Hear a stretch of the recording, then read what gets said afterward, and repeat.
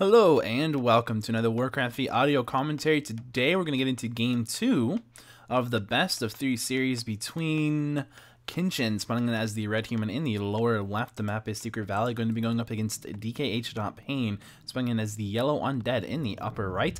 The map is Secret Valley. This is game two of the best of three series for Fit4Gaming Team League between the two players. Uh, if you missed game one, you can always check it out right there. And I don't know if that annotation is actually still up. It's there for the first 15 seconds of the video, so probably not by now. But whatever. Uh, if you did miss it, you can always click there, or you can wait till the end of this game, and it'll be there. There'll all be another annotation link up here. Uh, but yeah, so there you go. We do have Pain. He's going with, it looks like a fairly standard Ted Fiends build this game. Uh, just going Death Knight first. And let's see Archmage coming in as the first hero for Kenshin. Slightly different than... It's slightly different than the last game. Last game we saw the Paladin hero as the first hero for Kenshin. I could not remember his name for some reason. I was like, what's his name? But yeah, it's Paladin hero, and this time it's going to be the Archmage first. So there you go, a little bit of difference. Other than that, it's a pretty standard build, and both players playing pretty standard early games. We'll go ahead and see Pain just picking out that Death Knight. To pick up Rod of Necromancy and immediately run over to uh, this side of the map to try to stop. Well, not really try to stop uh, this creep because you can't really get here in time. But what you can do is get here in time to actually go for some peasants perhaps as they're running back to the base. You're to see a Scout Footman running into Pain's base and Pain forgot or didn't, one of the two.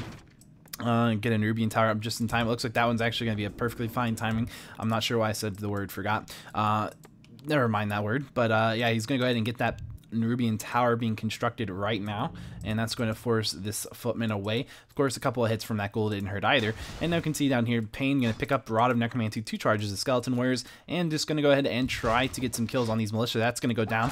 Just need to get those Militia 100 HP or lower to coil them. And so that's all you really have to do. Um, Alternatively, you can just right click on them like this with these two warriors, skeleton warriors, and just try to go for kills that way. You're to see a coil killing that skeleton, that uh, militia, and indeed, we're to see that the Death Knight's to run away as well as the skeleton warrior trying to get away from that arcane tower.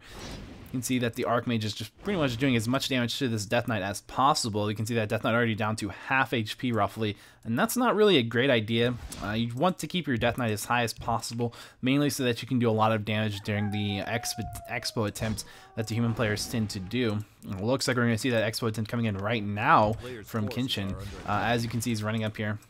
I'm going to go ahead and see Pain running his Death Knight up here. Uh, just going to go ahead and try to heal up at this fountain just a little bit. You're going to see one footman chasing him, and that's just going to be Kenshin being annoying. It doesn't really do anything, but it does kind of affect the psyche a bit, uh, and it does let, it does give Kenshin a little bit of information, but both players pretty much knew this was going to happen right here, this expansion. So we can see this coming down here. We're going to see one of those creeps getting stolen right off the bat by Pain, uh, that four show Berserker. Going to go ahead and pick up the Gauntlets of Strength plus 3 as well. You're going to see a Pendant of Energy is on the map. Probably going to have to make sure that the Archmage gets that. Indeed, that's going to happen. And Pain almost getting surrounded right there. Not quite surrounded, but, you know, blocked into that area. And that would have been forcing him to probably TP out. So nice that he did not get surrounded. A little bit unfortunate by Kenshin to not go ahead and take full advantage of that. But we'll see a Footman probably going down right here as well.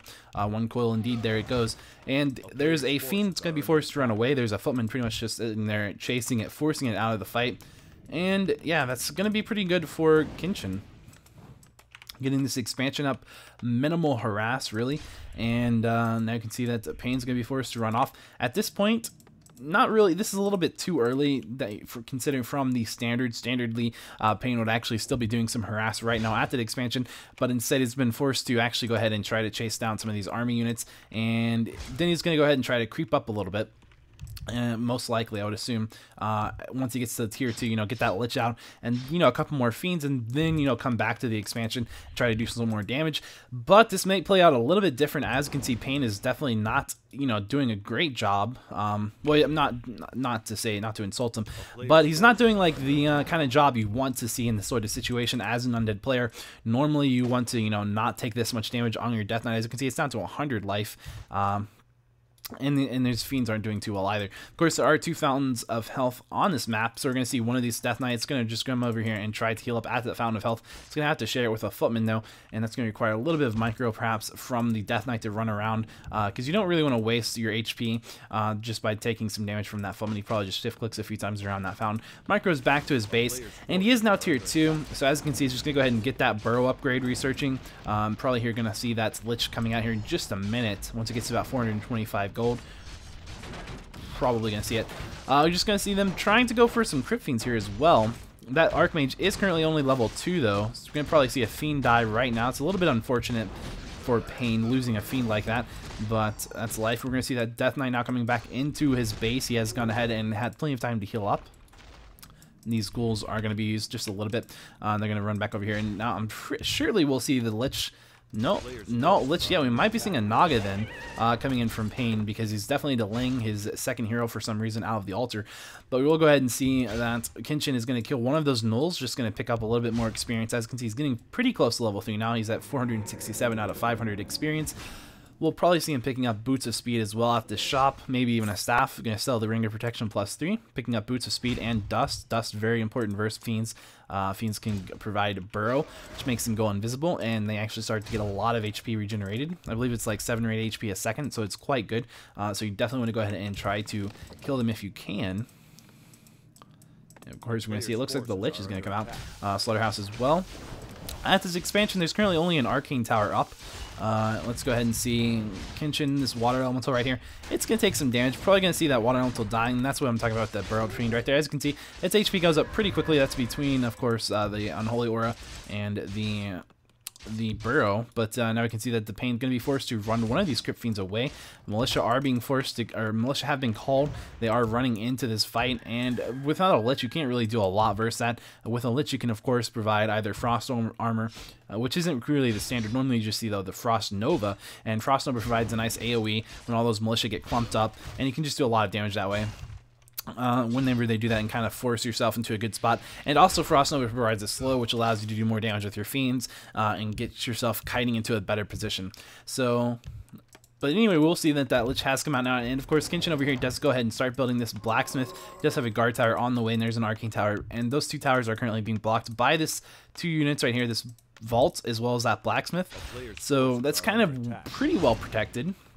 But uh, if there's enough fiends there, then it's not really going to matter too much. You're going to need more towers or something. Uh, potentially, you might just see that sort of situation where um, the, uh, the human player kind of backs off, lets the undead player kill the towers, and then he runs in with militia or something, plus his army, and that actually goes ahead and forces the undead player to back off. He re rebuilds towers, and he keeps doing that. Uh, you know, human players who keep doing that allows them to buy a lot of time in the game, and the more time you buy, then the longer the game goes, and generally whenever you have an expansion and your opponent doesn't, then the longer the game goes, generally the better or more into your favor it is. Go ahead and see a little bit of uh, damage going off into the Archmage. The Archmage still isn't level 3. You're going to see this Water Elemental going down as well. This time, of course, he only has 525 HP at level 1. So it's pretty easy to kill. It does give, you know, I think 42, 43 experience, something like that. I think it's 42. And um, there I can see these footmen are defended. Just going ahead and there's a statue on the field. These fiends are trying to, or these footmen are trying to kill these two fiends right here. Probably going to go ahead and see these fiends staying alive, though. Yeah, I'm going to see a Frost Nova on the footman, uh, Coil on one of the fiends, and just some basic micro, and these footmen should go down. And of course, Kenshin now uh, going to go ahead and start throwing down some Arcane Sanctums. He needs to get those Spellbreakers out because uh, with spellbreakers that does allow you to uh, start trying to fight this again. And you can't really fight this with footmen and it's just not going to be enough. As we just saw they just kind of get out kited and such. But over here we will see that these uh, fiends are making a push onto this guard tower with five or six six fiends right here. You see that guard tower going down. There are also some skeleton warriors right here doing some damage. And now we're going to see the arcane tower going down as well. Uh, Kenshin trying to repair, but not going to be quite enough. We will go ahead and see a level 2 water elemental being summoned. It looks like... Not sure that's a level 2. It kind of looks like a level 1 uh, water elemental, actually. But the Archmage is level 3 now.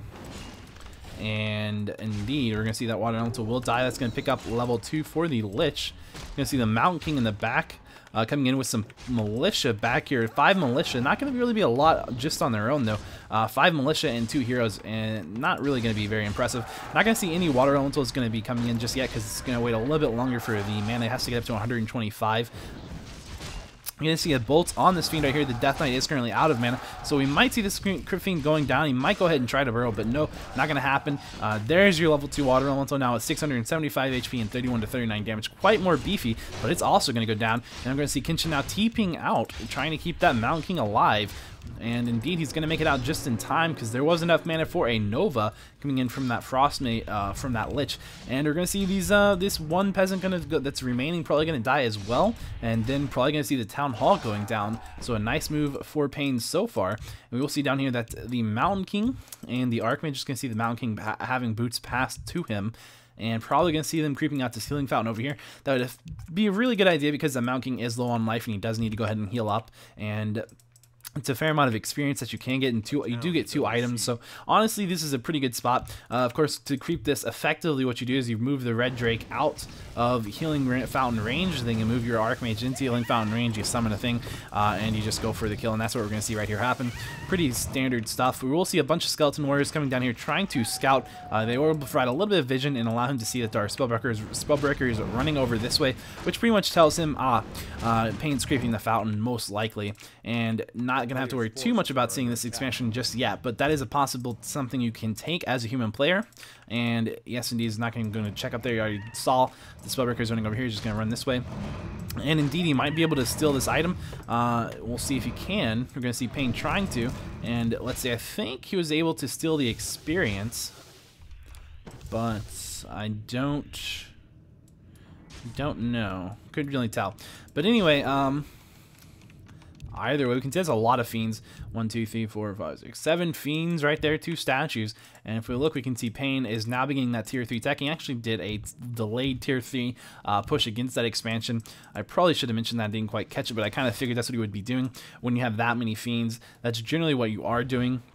And then what's your goal? Really your goal with that sort of strategy is, you know, to do enough damage at tier 2 to force the human player to take heavy, heavy losses, not have an efficient expansion going up, you know, to spend thousands of gold on towers or units or peasants or something like that, uh, you know, and the units that the, the undead player or the human player doesn't really want. They don't really want spellbreakers. Spellbreakers are a good unit, but they don't really want spellbreakers. What they're generally going for is knights and flying machines.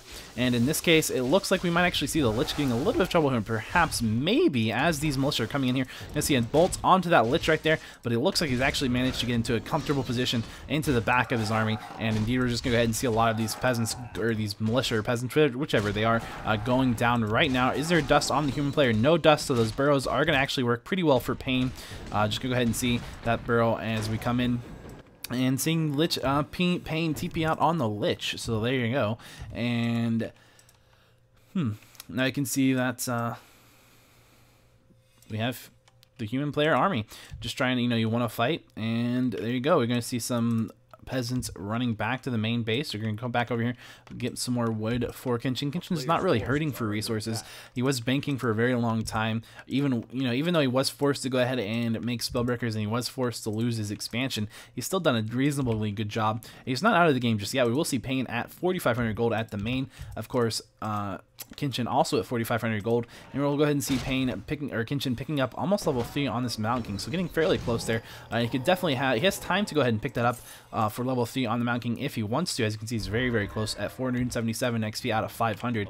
Um, and of course, we have the Archmage right here, already level three. We'll see Dark Ranger being picked up as the third hero for Pain, and if we look at Pain's heroes, we'll see level four on the on the Death Knight, level three on the Lich. So not too far behind Kenshin uh, in hero level, or well, not too far ahead of Kenshin in hero levels, but we'll go ahead and see the Mount King being forced to pop an Invo Potion at 10 HP. Uh, we will see as well this fight as it goes underway. One of these Spellbreakers immediately going to go down. Uh, the Mount King is a bit of trouble here as is that Potion of Lesser Invulnerability wears off. He did pop a Healing Scroll, having a potion of healing being passed to him and pa popping that as well. But uh, there isn't a town portal for Kenshin, so Kenshin's not in a good spot here. He could potentially lose his Archmage, and indeed it looks like it's going to go down, and down it goes. And the Mount King also too low to really do anything in this fight. Uh, really, he just needs to back away, run away. He has taken pretty heavy losses, though, right now. And if he loses this Mount King as well, then he's in some serious trouble. He hasn't even picked up level 3 on that Mount King yet. Of course, that's not a bad idea if you're going to lose it, you know, but uh, indeed, it looks like that's going to go down. You can see him trying to go for the Death Knight. The Death Knight's actually going to go invisible, and Kenshin calls good game. So there you have it.